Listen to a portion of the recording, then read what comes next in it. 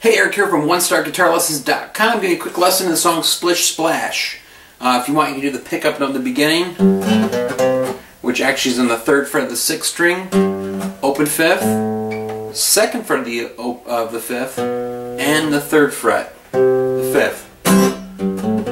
Splish splash, I was taking a bath. Dun dun dun dun dun. That's C. Rubbed up just a dun dun dun dun. D7. Dun G7. Well, I stepped out the tub. C.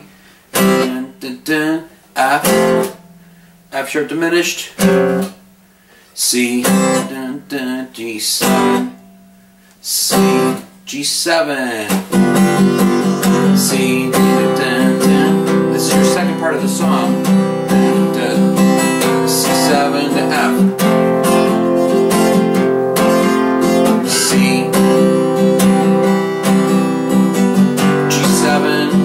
F7, C, G7. So let's repeat that one more time.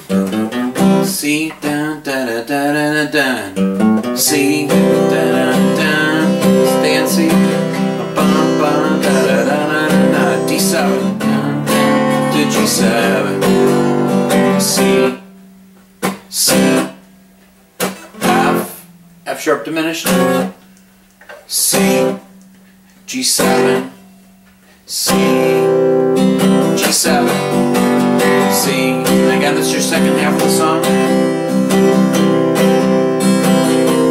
C7 F7, C, G7,